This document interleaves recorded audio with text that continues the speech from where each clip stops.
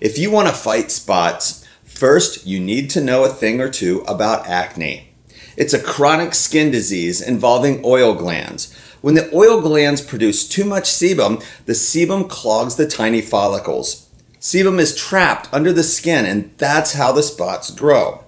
Well, how do I know that? I used to struggle with acne for years, but I won the battle.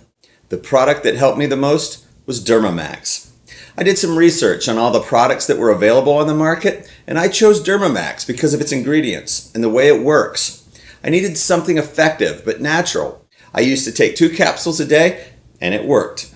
Scarring and pimples disappeared. My skin became smooth and clear. Derminax eliminates all the toxins and bacteria from your skin so the glands get unblocked and the sebum levels go back to normal. I definitely recommend it. Thanks for watching.